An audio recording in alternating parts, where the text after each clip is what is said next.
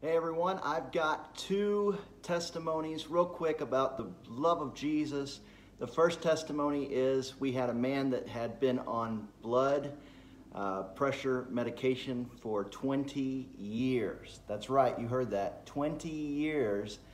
Uh, this man had been on blood pressure because of anxiety and the Lord healed him this month. He's been four weeks without needing to take blood pressure medicine. So praise Jesus. He loves to heal today. He is the same yesterday, today, and forever. So if you need healing, the answer is yes, Jesus is ready and willing to heal. Now, we've been talking the last few weeks about just how much the love of Jesus is important to fuel us and to do things in our life uh, that will sustain.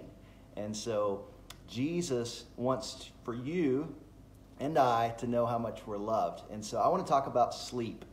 For almost three years, I was averaging about two to three hours of sleep and was waking up with fever. And there was just some things that Jesus had to heal. And before Jesus heals something in our life, we have to know that we're sick. I think about the self righteous uh, Pharisees. They said nothing was wrong with them. And the truth is, is that there was a lot wrong with them and they needed a physician. And Jesus is the physician. And so I just encourage you. I had been three years of lack of sleep. And then I began to meditate on the love of Jesus for myself.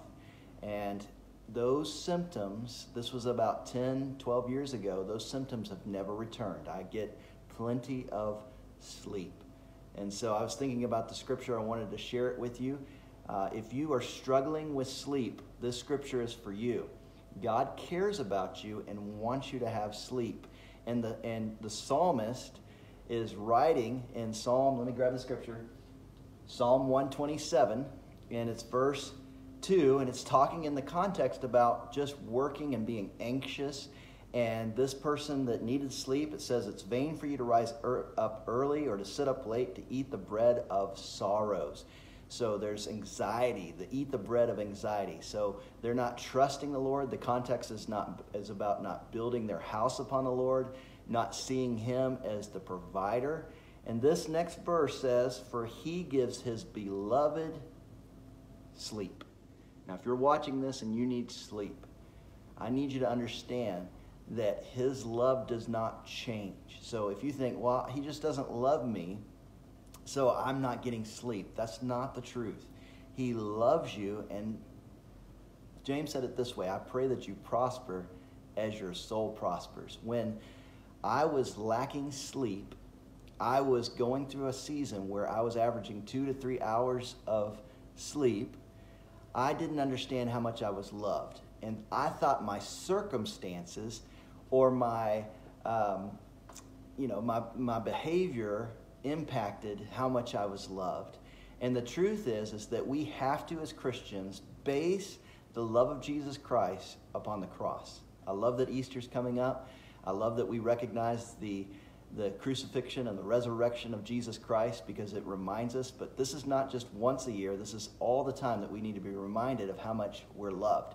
We can't base the gospel upon our circumstances. We cannot base the gospel upon what's going on in our life. The gospel and the love of Jesus is based upon the cross. And so, as Christians, the old is gone and the new has come. Behold, I make all things new. Well, guess what? You and I are new in Christ Jesus. And so the love of Jesus is, again, based on how much he did for us on the cross. If God does nothing else for you, know how much you're loved. So in Scripture, you have a promise that His beloved, He gives His beloved sleep. If you're struggling with sleep, I'm telling you the answer right now is to know how much you're loved by Jesus. Meditate on how much He has done for you on the cross.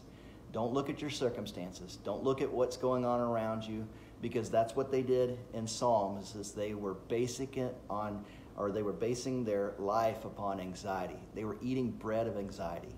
Well, guess what? Jesus is the bread of life. You can have life, life more abundantly. He desires for you to have sleep. I know there's some great songs out there uh, that you can listen to that remind you that you're loved by Jesus. And there's an anointing on those songs to remind you that you're loved. So listen to Scripture, the Word of Christ that brings faith. That's it. That's all I got for you. I want to encourage you. God wants you to have sleep.